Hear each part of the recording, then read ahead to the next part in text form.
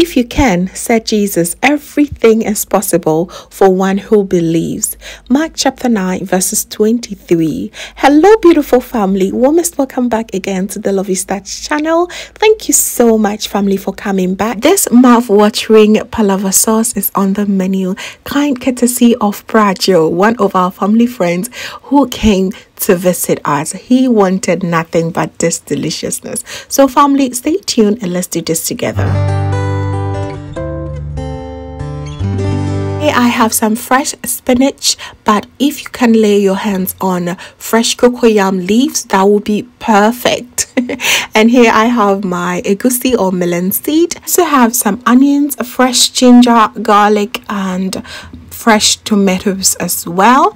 And for my proteins that I'll be using in this sauce I will be having some mackerel in tomato sauce. Also had some pre-boiled cow skin and cow stomach ready and this is some beef broth. And for this sauce I also love to have some mushrooms in there. I have some salted tilapia or koobi and some palm oil and salt. Here are some shrimp seasoning my stinky fish or momone and some peppers okay? That is all. I'll list everything down below in the description box as well. So to begin with i like to chop all the vegetables that need to be chopped and also grind all those that need to be grinded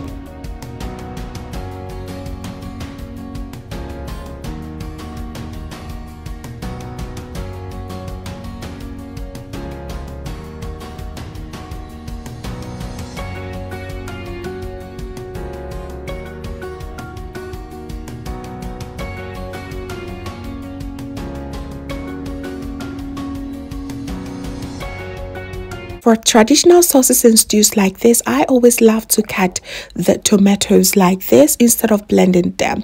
And I always love to also take out the seeds because for me it makes the process very very easy and it cooks really really fast also done and dusted i'm now going to cut or chop my spinach okay? And for the spinach you just want to cut off the ends like this because you do not want to have them in a stew. It does not look pretty at all okay? Just cut them throw them somewhere. And i also tried to chop it exactly like how you would chop your cocoyam leaves like this. Look. It was looking exactly the same. I was so pleased with this after I'm done chopping the spinach, I'll go ahead and use my earthen bowl to grind, you know, roughly my peppers and ginger, garlic, and the tomato seeds as well.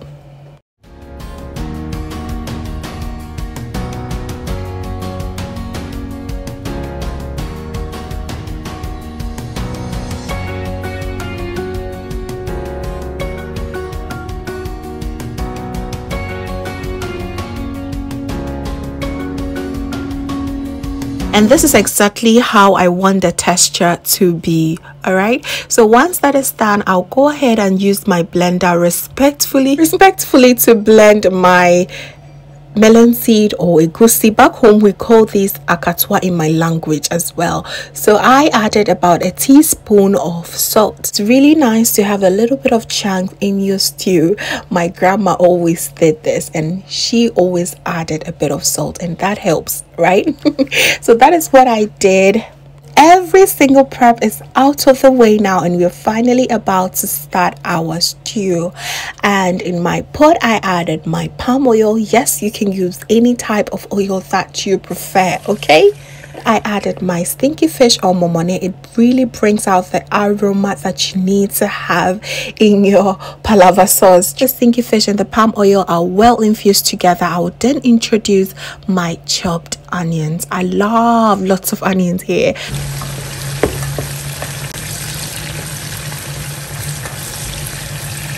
smells so good already oh so frying the onions for about three minutes i'll then introduce my pepper mix here contains the garlic ginger a little bit of the tomato seed and the habanero pepper as well mm.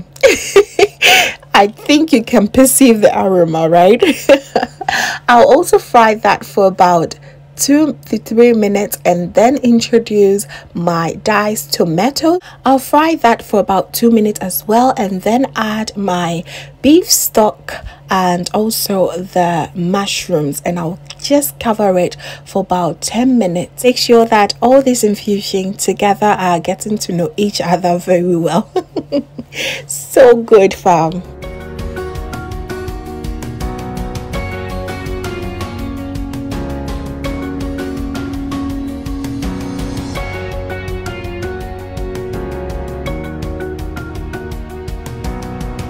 in the waiting time i'll go ahead and wash the spinach for the second time. Here i sprinkle a little bit of salt just to make sure that it is well clean okay? The spinach has been neatly washed i'll go ahead and steam it for about five minutes. I prefer to steam instead of boiling it in the water because I think that it loses lots of nutrients once it is dipped in this hot water. Okay, I just love to have the nutrients in the stew instead.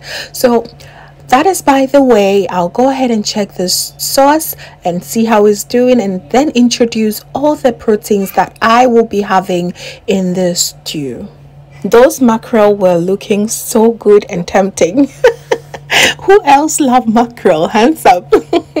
So i go in with everything now and then cover it for it to simmer for about 15 minutes okay? 15 minutes later then introduce your shrimp seasoning and then add the egusi at this stage that simple family. And i always also want to advise that if you want to ever add salt you should wait to the very last end before you start to add the salt. Just because everything that has been here in the stew has a little bit of salt in each of them okay? So please please be mindful of that all right? So i love some chunks in there. That is why i added those thicker ones. But if you do not mind just add a little bit of water as i did at the last end and they will be just fine. It's very very important to make sure that the egusi is well cooked. I cooked this for about 25 minutes before adding the spinach because once the spinach comes in then your stew is almost done okay? Make sure you come and check up on it every 5 to 10 minutes and it should be on low medium heat just so that you do not burn the bottom of your pot all right? Who wants that anyways? So right now my steamed spinach are doing so well. It's not time for me to introduce to the very well cooked stew. Once it gets here everything is almost done go ahead and stir everything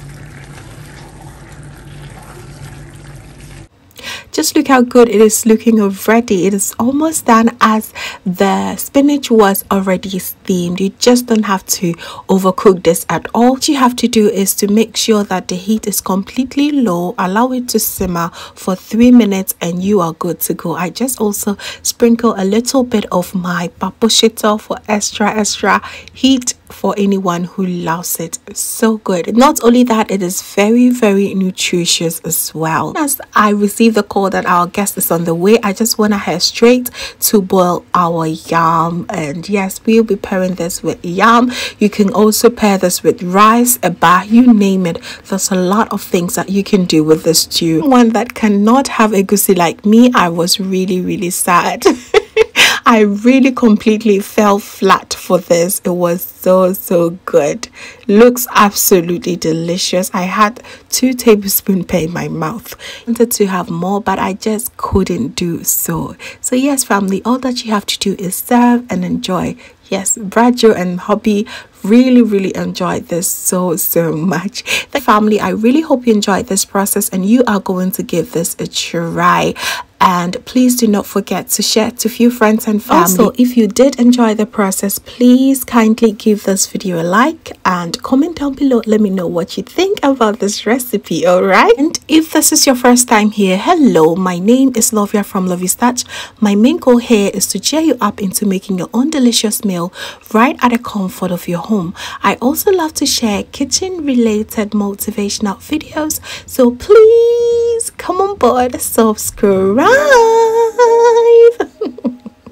and join the family for amazing new recipes every week. Thank you so very much, family, for watching once again. And just know that you are so beautiful just the way you are. See you in my next one. Bye!